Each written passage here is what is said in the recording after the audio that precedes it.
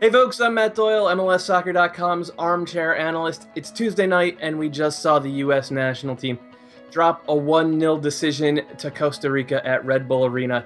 And quite honestly, this was the exact type of performance Jurgen Klinsmann was hired to prevent.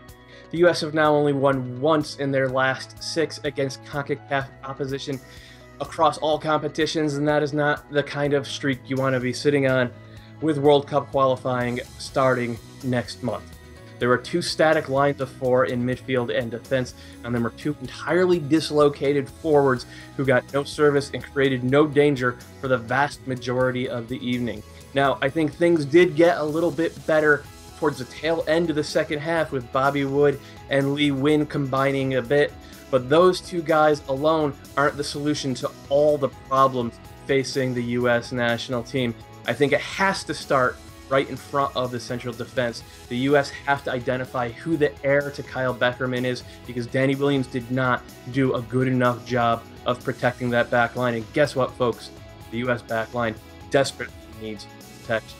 Things are bad right now for the U.S. national team and for Jurgen Klinsmann. How should we fix them? I want to know what you have to say. Let us know in the comment section below.